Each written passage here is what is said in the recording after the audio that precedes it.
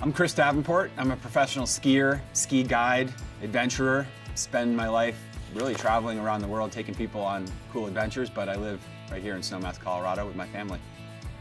We have about 300 sunny days a year. Uh, when we do have storms, they can be pretty intense, and, and because of that, we've got great skiing, great snow.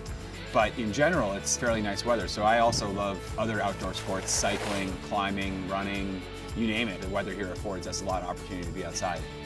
The Aspen Snowmass area is sort of magnetic. Out of college, I moved here wanting to ski, and I was able to develop a career as a professional skier, and it's, it's been a 25-year adventure. Myself and two of my ski partners were the first people to ski the 100 highest mountains in Colorado. We call those the Centennial Peaks, and it's 100 mountains over 13,800 feet. Um, and to do that, we had to access all of these really remote areas because these mountains do not lie right next to highways or right above towns. You really actually have to go out and, and kind of find them. And because of that, I've seen a lot of Colorado that other people haven't seen. So I met my wife here in Aspen, and she's a ski patroller, so she keeps people safe on the mountain for a living. Uh, we met skiing, and we fell in love because we both love skiing. Been married over 20 years now, which is awesome, and, and we have three boys, all of them who ski. Uh, but the thing that she and I really share is our passion for the outdoors. We love being in the mountains together, and we've really enjoyed bringing our kids up to be smart and safe uh, backcountry enthusiasts. I think that the biggest accomplishment I've had is that I've been able to raise a family and continue to do all the things that I do, to continue to travel 150 or 200 days a year all over the world. Um, I'm pretty proud of the fact that I'm still sitting here because a lot of my friends aren't anymore, you know, they're gone. And what I do is pretty dangerous. I'm a professional risk manager. I'm out there looking at risk every single day and figuring out how I can stay alive. So I'm proud of the fact that I've done that and I'm still a father and a husband and it's very, very important to me that I continue to do that. My big goal is to try to make it to 80 or 90 years old, you know, where kind of life is behind me and I'm just coasting and having a good time with my grandkids or whatever. And I'm like, I won, I did it. People will ask me, Chris, you know, what did it take to become a pro skier?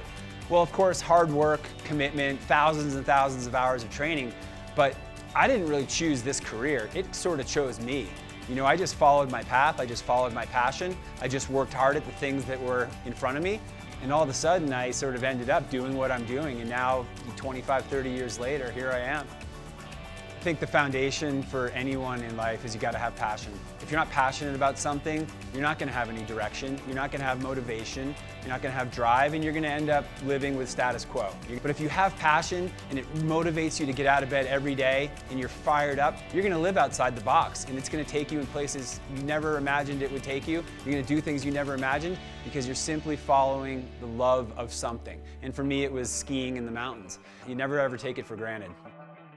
Well, people often ask me, do you have an off season? Do you take a break? And the answer really is no, because I'm either on snow year round, North America, South America, or in those in-between times, I'm training. So I like to think of myself as pretty much a 24-hour athlete. When I'm not out there training, I'm actively recovering. When I'm not eating, I'm digesting, I'm constantly doing something that revolves around being a pro athlete.